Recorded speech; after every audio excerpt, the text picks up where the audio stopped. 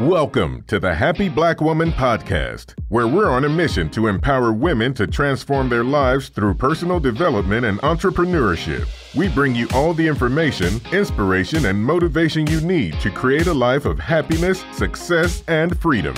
Now, please welcome your host, the happy black woman herself, Rosetta Thurman.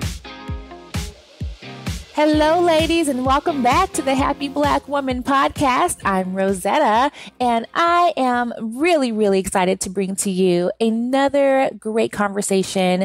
Today's guest is Morgan DeBaun, founder of Blavity, and you may already have seen their websites and followed them on Instagram. And today we get to speak to the woman behind it all. Welcome, Morgan. Thank you. So excited to be here. So excited to have you. You know, for everyone listening, this is one of those those conversations where I have never met the person before. We've had um, several of those lately because I like to ask other people and who should we have on the show, and pe- different names get thrown around. And so Morgan's was one of those, and it's like, hey, you know, did you know that you know the person behind Blavity? I'm like, no, but I've heard of Blavity, and and so that's what this interview is, and so it's fun. These are fun for me because I get to ask the questions that I want to know because I don't know the person. So it's like, let's meet on my podcast and record our conversation in front of everybody.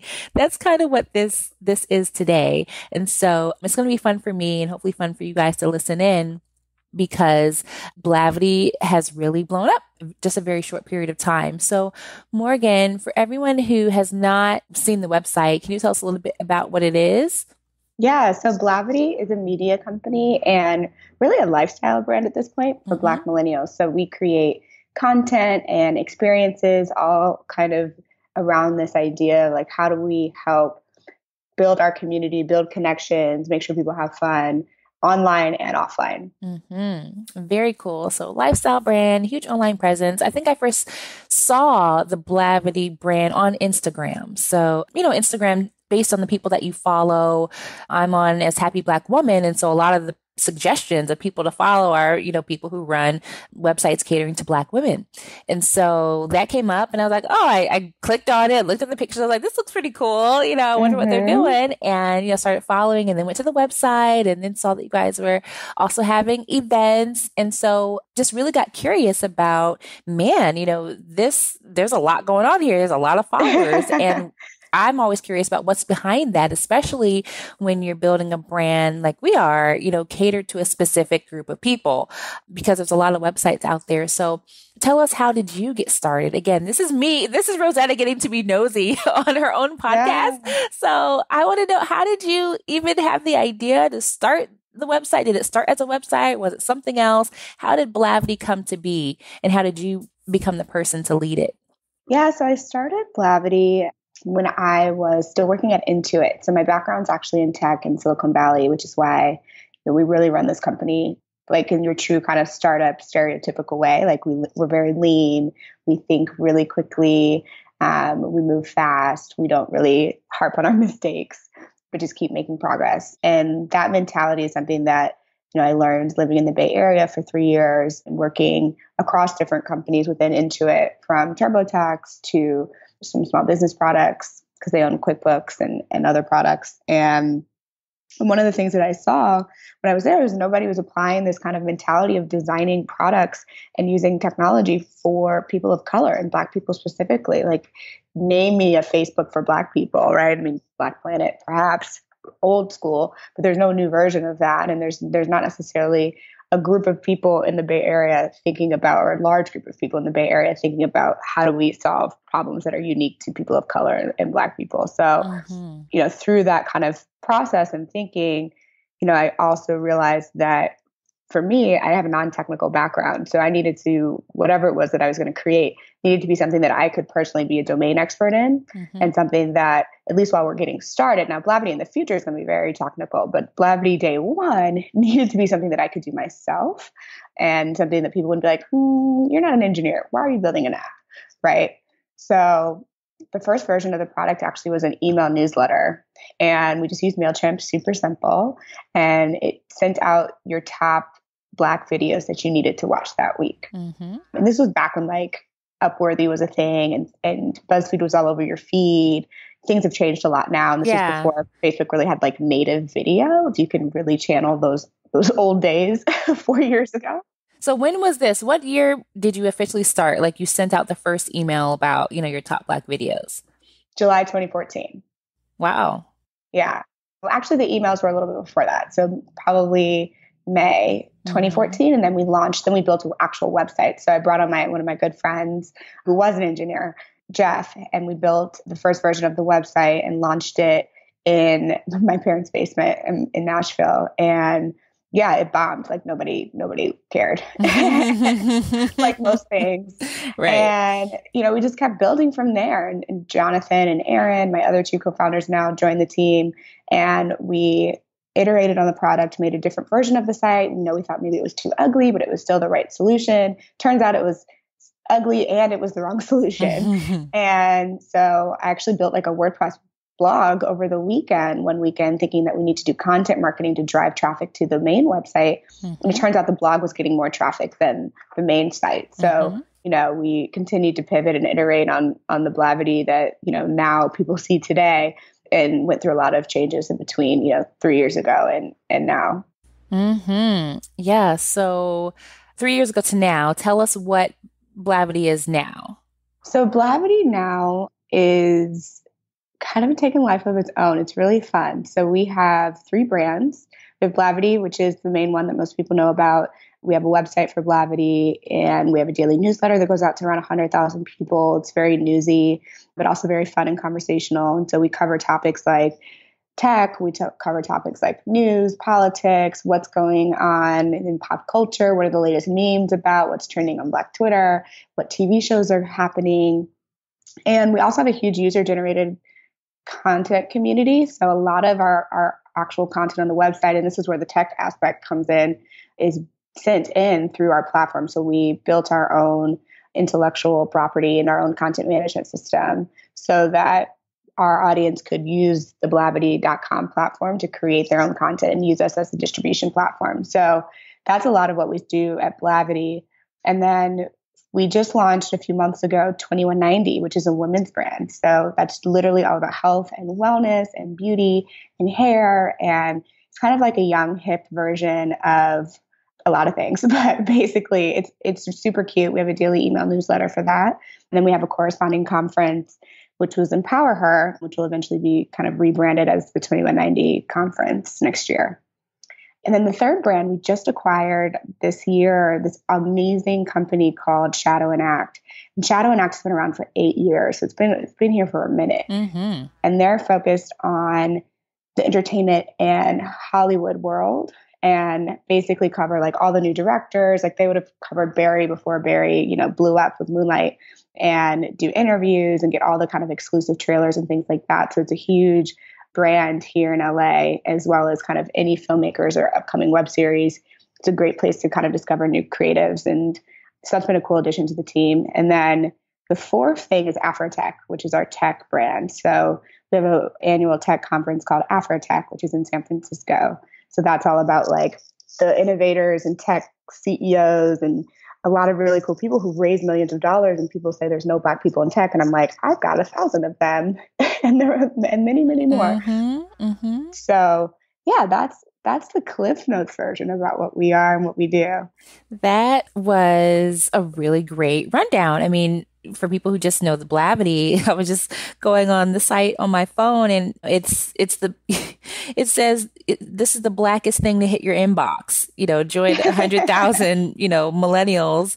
And it's very interesting for people to hear because we talk about platform, we talk about brands, but to really see like what how it started with, you know, a MailChimp email list. And now there's a hundred thousand you know, people on the list that are receiving these updates and whatever else that you are sharing, you know, so having people come to events and things like that is great. I mean, a lot of people think that they have to have a product, product like for sale or a service for sale. And you are really doing some amazing things with a platform. Having a platform of people really allows you to do some really cool stuff. Yeah, absolutely. Yeah. And so when you think about what it's taken for you, to build this, I mean, you know, you guys can go to the website and see what kind of content is there number one, I guess the back end of everything people want to know. Like, if you want to start, if someone wants to build a brand, like, you know, Happy Black Woman is a brand, but it started out as me, as Rosetta. And, you know, now mm-hmm. it's a Happy Black mm-hmm. Woman brand, and we're having events and workshops and retreats and all these different things that extended from the brand. So I am a true believer that branding is really, really important in building a brand and a platform so you can do other things. But behind the scenes, how do you guys actually make money from a platform? Yeah. Because so many of our listeners are bloggers, they have blogs, they have aspirations of being an author or speaker to really get their message out, to get their knowledge out. So many of our black women are talented. We're just born with black girl magic. We all know that. and so many of us want to, you know, learn how to monetize that magic, but they have websites already. They may have a blog already or a Facebook page. Like what's what's behind the scenes of how you actually make money once you have some type of platform? Yeah, I mean, I think there's lots of ways to make money. I, I'm a huge fan of trying like thousands and thousands of ways to monetize because the more lines of revenue that you have, the less dependent you are on mm-hmm, one thing. Mm-hmm. And particularly for us, like as a black media company, black startup, we cannot rely on other people. like, right. We have to make sure that we don't go out of business. Blavity is too important and, you know, I think what we do is is important in terms of just like pushing the culture forward. And I would even say in the last three years, like because we've covered certain things, other people start covering them and and it, it's a it's a great it's a great way to make sure that people are being held accountable. Mm. So to mm-hmm. me, because because it's important that we don't go out of business, we're actually pretty conservative when it comes to spending and managing our cash flow. So, you know, I check check all of our financials every day. And what we do to make money is, is just a variety of things. We have, of course, the two conferences, Afrotech and Empower Her. Those have tickets. People mm-hmm. pay for mm-hmm. those tickets. Mm-hmm. And then we have sponsors who would like to reach this audience, mm-hmm. right? The Black female audience or the Black tech audience.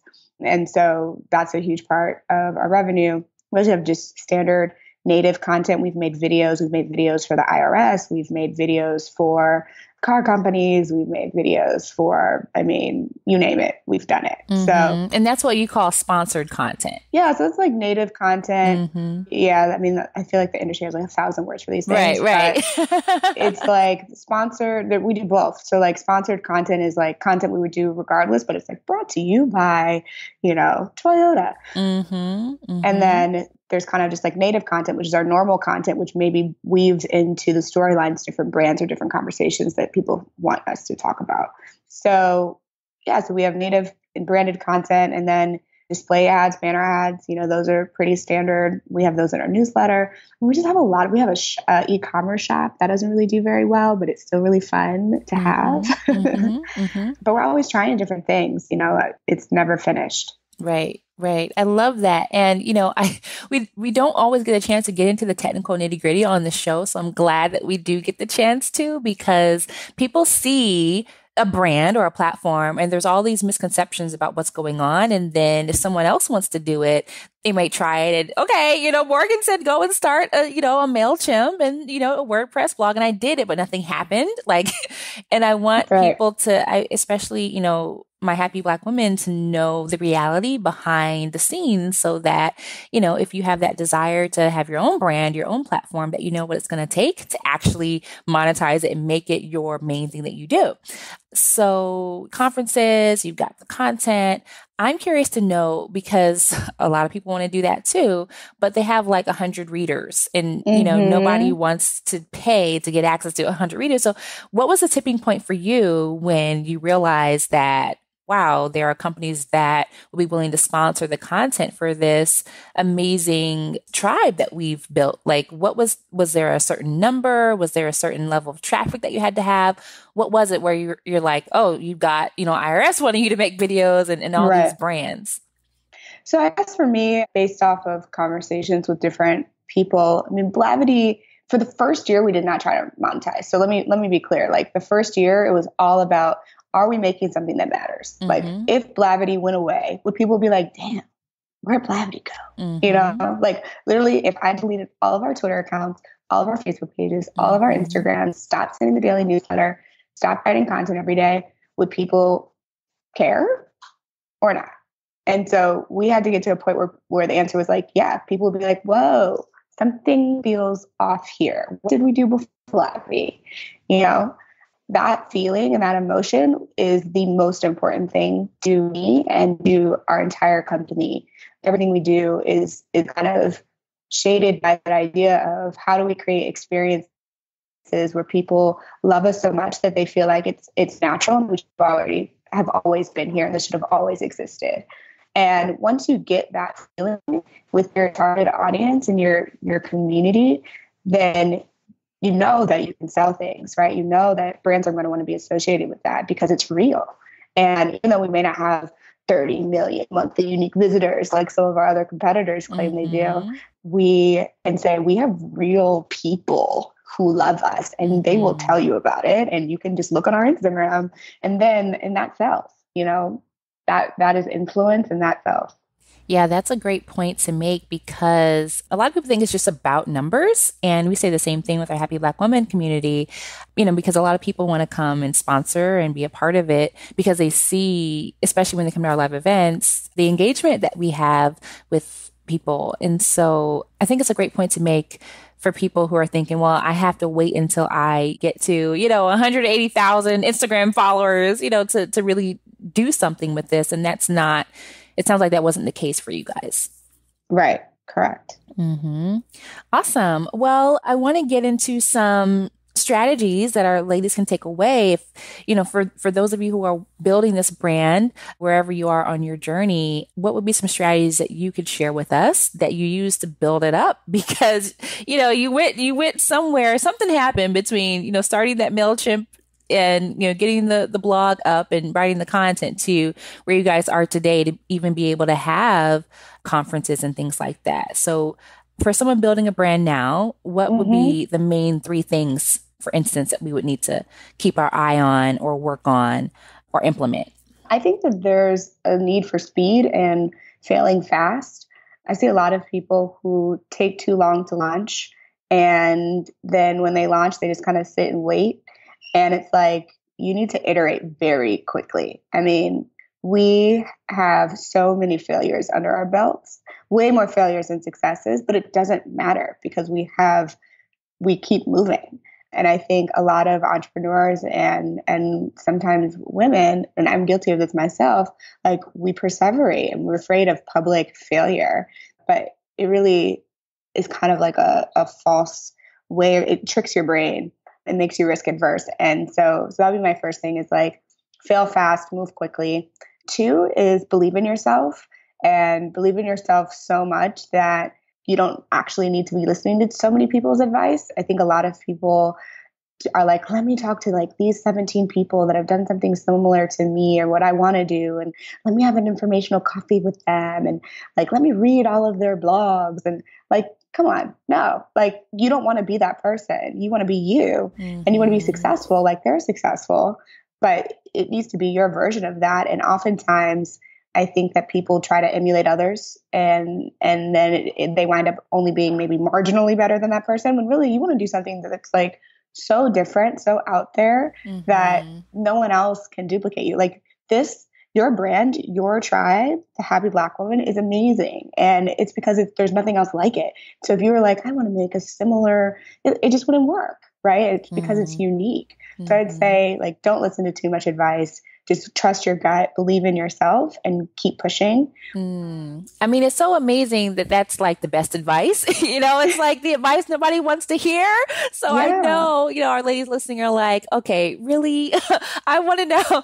But but it's so true. And that's, these are the conversations that I love to get into on the podcast because, you know, you guys are hearing from someone who has been successful. And when you look back at your success, you know, it's not where you you know try to emulate someone else but when you create something like when people when i saw the name i was like what's blavity that was the first exactly. thing that i said like, like what is that and and that's a good thing like when people hear happy Black woman it's like you know some people are like do those even exist? Like I see the comments that people make on social media. There's no such thing as a happy black woman. Well, why don't you, you know, come to the website, come to an event, join us and find out, you know, if that's true right. or not. It's there's a curiosity to it.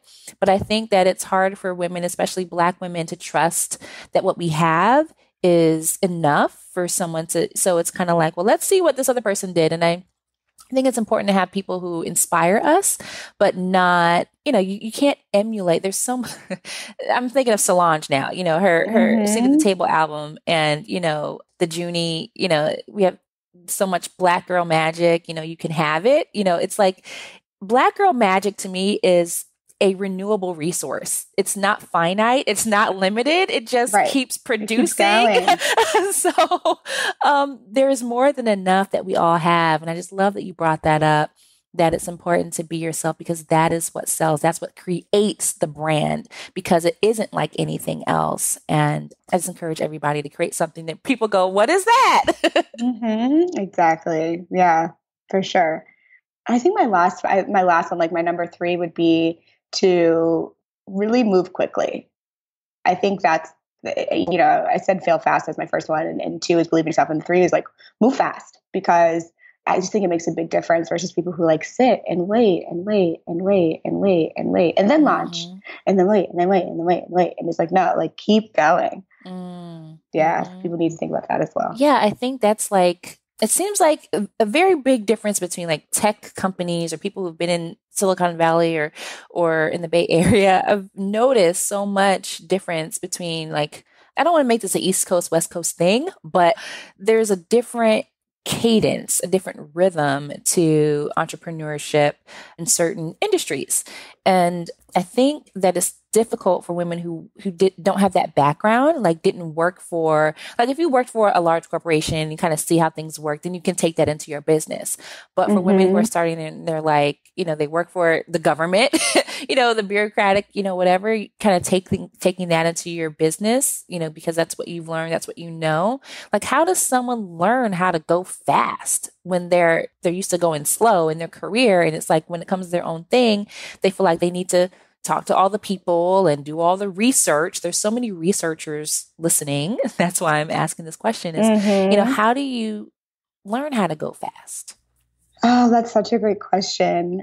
I think you just have to push yourself. I don't know if there's really like a, a, a methodology that teaches you. I mean, you can read books, but that kind of goes against my previous advice, which is just like, just go. Mm, mm-hmm. I think having accountability partners and surrounding yourselves with, with, other women and other business owners who are also moving mm-hmm. and pushing quickly yeah. and aiming and thinking big. Yeah. I think that's been really helpful for me because like when I see my other friends launch something, like when I see Zim like is going to a new country or I see like Levy's writing a book, I'm like, man, like where's my book at? Like mm-hmm. we need to be international. Mm-hmm. Or, you know, I mm-hmm. see I'm friends with Abiola from Okayafrica, and he's like doing this all this dope stuff in like South Africa, and I'm like, yeah, like when I'm going to Africa, y'all, you know. and I think that motivates it personally. That motivates me to keep thinking bigger and to keep mm-hmm. executing. Yeah, you know, I'm competitive by nature, right? I think a lot of entrepreneurs are, and so like having that friendly and healthy, like, what are you working on? What are you doing? Oh my yeah. god, that's awesome! Right. I think is really helpful to not being stagnant. Yeah, I totally agree. And, you know, it's kind of like if, if, I were to rephrase what you said based on the conversation about going fast, it's like if you want to go fast, you've got to surround yourself with fast people instead of, you know, mm-hmm. people who are slow and they're like, you know, I know there's so many people, you know, women listening and they're like, well, I don't have those people. You know, actually, my people are asking, are you sure that's a good idea? You know, are you sure you should take out that loan to, you know, pay for those Facebook ads to get people to your website? There's so many things that what I call normal people would not do or understand the reason behind why you're doing it because you have the bigger vision. And so I do think that's such a great reminder that if you surround yourself with people who are also doing those things, and even at a higher level than you are, you really can't help but move forward because you know they're the kind of people who are going to ask you, "Hey, what's what's going on, Morgan? I thought you said you were going to Africa. Mm-hmm. when are you going to Africa?" Mm-hmm. Right? Or they will also invite you along and help you. That's what I love about you know knowing so many Black women entrepreneurs is like there's opportunities that they know about or have that you may not have found on your own. But when you talk to people and you get into these communities, it's like, oh, so and so's looking for a speaker, or, you know, so and so's looking for a partner for this, or let's partner on this. And it just opens up a whole new world for you. So surround yourself with those people is really important. And I know people are like, well, how do I, you know, get connected with those types of people? I think we all have our own stories. How did you get connected to such amazing people, Morgan? I think so. When I was younger, I switched schools a bit. When I was in so elementary school, and then I switched middle schools, and then I switched from middle school to different high school, like different groups of like friend groups of people. Actually, I switched middle school twice and I'm from St. Louis, and St. Louis is a pretty segregated city. So when you switch schools, you literally go from like black to white, and then black to black, and then back to white, and it's just like a lot. And I went to black church, but I lived in the suburbs, where they like commuted to the city every day, went to school in the city, and I think having to code switch so much and be around so many different types of people, I learned how to be open to mm. everyone, and I learned how to like still be myself and and and yet still adapt to whatever environment that I was in um, and make myself available for new friends mm and to not necessarily be intimidating because I'm the new girl or like whatever, right? So I think through that process, like I've always seemed to find really strong and amazing people near me and have always been open to building relationships with them and worked to build relationships with them. Like when I moved to the Bay Area, I didn't know anybody, you know, I didn't know anyone besides my now co-founder and my brother. And and now i have amazing sister friends that live in the bay still despite the fact that i live in la now. And and yeah they just hold me accountable and i hold them accountable and hit them up like yeah what's that what we working on? When are we going on this trip? So i think that it, it takes work to to have people around you and to have people really be honest and root for you. Mm-hmm. not just the like oh hey how's, how's it going? Like looks like everything's going great. Bye. Like, no, like that's not enough. You know, that's yeah. not real. Yeah, I do totally agree that it's worth it to put in the work for those relationships. And you don't need a lot. That's the thing that a lot of people don't get either. Like you don't need a whole entourage, you know, to support, you know, behind you, but you do need, you know, some good people and it's worth it to put in. And whether that means that you need to go outside of your comfort zone and go to some of these different conferences that we're talking about mm-hmm. so you can mm-hmm. meet people. If you're paying for a conference and, you know, 100 other people are paying for a conference, they're probably the kind of people that you want around you because they're motivated. Absolutely. Yeah. Yeah. Yeah, awesome. Well, Morgan, I, I know we have a little bit of time left. I want to get into you as the entrepreneur, the Black woman entrepreneur who's running this and building this. There's a lot of moving parts to what mm-hmm. you're doing. So, how do you stay focused and productive and not lose you? Yeah. I don't know if I've always been good at that. I mean, I think the first two years of Blavity, I was in grind survival mode. Like I was not playing around with anybody. And, you know, if you were a distraction, you had got to go, like literally. And and that even included people in my personal life, you know? And, you know, at the end of the day, like we, we are where we are because of the hard work put in by me and the rest of the team in the first two years. But it's not sustainable. Like that level of intensity is not sustainable. And I think I've had to be intentional about transitioning my personal lifestyle so that it is a sustainable lifestyle, so that I can be healthy and I can be focused and I can make complex decisions that now have huge impacts. You know, if you have no employees, you're mm-hmm. your only mm-hmm. employee, you make a mistake, mm-hmm. you know, the only paycheck you're hurting is yours. Yeah. right. So it's like, yeah, like this decision's big, but ultimately it's not really affecting that many people. Now, if I make a mistake, I got 20 paychecks to worry about, right? And and all the people that those paychecks help mm-hmm. and feed. So I need to like now I'm I'm really focused on making sure that I have the mental space and the mental capacity to focus on the big things that matter in a way that you know there are no excuses for mistakes at this level because because the impact is significant and the consequences are much larger. So I work on more recently like my physical health, you know, working out in the mornings, changing my my physical environment, making sure my apartment looks nice and that it's clean and that I have food in the fridge. I mean, this all sound like really silly small things, but it really helps me personally have like a clear mind or my office like I I didn't have an office. You know, we have a nice office now and it has space and people can breathe. Mm-hmm. So, yeah, I think just kind of getting out of that like struggle boat mentality, which we were definitely in for a minute, it has given me personally like the mental capacity and, and the health to be able to be a better leader at this level.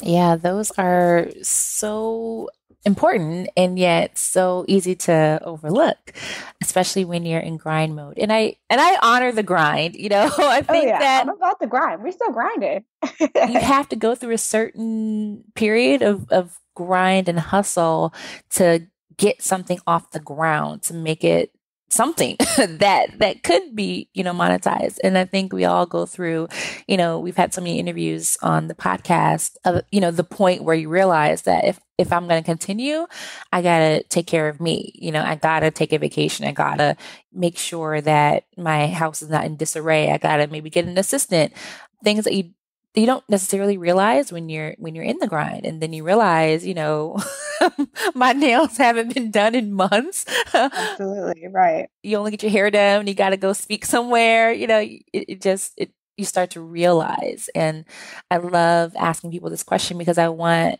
everyone to know what goes into being the kind of woman that can run a company like this. It's not like you just wake up like this and you just everything works out smoothly, but there's certain things that have to happen so that you can show up. Mm-hmm. 100%. mm-hmm. Yeah. Well, I know that you know a lot about the tech. So, are there any tools or apps that you use to keep everything uh, organized for yourself? I'm a minimalist, honestly. So, I'm like Google Calendar, my life, email, filters, Slack that's about it in my moleskin. All right. it's pretty simple. Yeah. I, I, definitely think my secret weapon is probably my Google calendar. Mm-hmm. I schedule every single minute, yeah. like everything from wake up to workout to meditate to eat to dinner to I, I literally have a thing at seven o'clock that says rest, mm-hmm. you know, mm-hmm. because it pings me, right? It like it, even if I'm not going to rest because I have five other things to do, I get mm-hmm. a notification on my phone, I get a notification on my screen, and it says rest. And I'm like, okay, I have to make a conscious decision right now. Mm. Am I going to am rest? I going to rest? Yeah. or am I not going to rest? Yeah. You know, or am I going to work out? Or am I going to sit in this bed? Like, right. I have to make that choice. And and so by setting those intentions and it for being on my calendar, my calendar is transparent. So mm. everyone in the company knows exactly what I'm doing every single mm. moment of the day. Yeah. Like no meetings are, are unlisted. Every single thing is open. So mm. people know, I think too, that helps me be accountable. Like if I'm not showing up, they're like, oh, you didn't have any meetings this morning. Like, where are you at? you know, right. we thought you were going to be here by nine. Yeah. You know, and that helps me stay organized and it helps me stay on a routine and on, on a cadence as well. Yeah. I love that you have, you know, a reminder on your phone to rest. I like the iPhone sleep like you know I, would say what time I want to go to sleep, and then it's like, it. dang, you have to you have to go to sleep in an hour. It gives me an hour kind of wind down, and I'm like, okay, I gotta I gotta get my sleep in. So exactly. that changed my life. yeah, when they're like, you're only going to sleep for five hours, you're like, hmm, something about this is not adding up. right, right, yeah. I love it and how we can use these tools to really honor the goals that we have for our ourselves. Well, Morgan, I can't let you go without getting a book recommendation from you. So, is there a book you can share with us that has inspired you along your journey? Oh, hmm. I read like everything. So, let's see. The Seven Irrefutable Laws of Leadership. I mean, it's a classic but it's it's it is a classic for a reason. Like that one, How to Win Friends and Influence People, I mean, all those business book classics that, that you kind of hear of, I think yeah. are important. And I read them on a yearly basis because yeah. sometimes you get in that grind mode and then you look up and you're like, I haven't been nice to people. Mm-hmm. you know, mm-hmm. I haven't been mm-hmm. saying thank you. I yeah. haven't been really actually asking about people's stories and what they do outside of work like i need to do better right mm-hmm. and mm-hmm. and and yeah so so kind of the, the lean startup methodology by eric ries and there's a new one the new startup book that I haven't read yet that I'm going to probably read next. But yeah, there's there's so many. Mm, those are great recommendations. It's like we've got our Happy Black Woman book list going, and I love the startup kind of books because I think a lot of people they don't do the reading until after mm-hmm. they have some challenges. So it's good to you know read them in the beginning. Well, I am so honored that you were able to take the time to be with us today. And I know that so many women are going to want to stay in touch with you, Morgan. So, where can they go to stay connected? I'm everywhere. So you, the best way is probably Instagram, my Insta story, like every day, everything from I'm in the gym to I'm in the office, we're doing this meeting, I got this client thing, I'm asleep, I'm taking a nap, everything. So Instagram, which is just my first name, last name at Morgan DeBaun. And then I would also say check out, if you haven't heard of some of our other brands, definitely check those out. Check out 21Ninety, check out Shadow and Act, and let me know what you think. Awesome. Thank you so much for your time, Morgan. It's been a pleasure having you on the show. And hopefully, this is not the last time we get to chat. Yeah, thank you so much for having me. Thank you. All right, ladies, there you have it. Wonderful interview with Morgan DeBaun from Blavity. And if you'd like to check out our previous episodes, all you have to do is go to our website, happyblackwoman.com, click the podcast tab, and a wealth of information is at your fingertips, all for free. I will talk to you all very, very soon. In the meantime, do something today that makes you happy. Bye bye, everybody. Thank you for joining us on the Happy Black Woman podcast. If you want all the show's notes from today's episode, go to happyblackwomanpodcast.com. Plus, we'll send you a copy of Rosetta's free life mapping workbook. We look forward to empowering you next time. And until then, do something this week that makes you happy.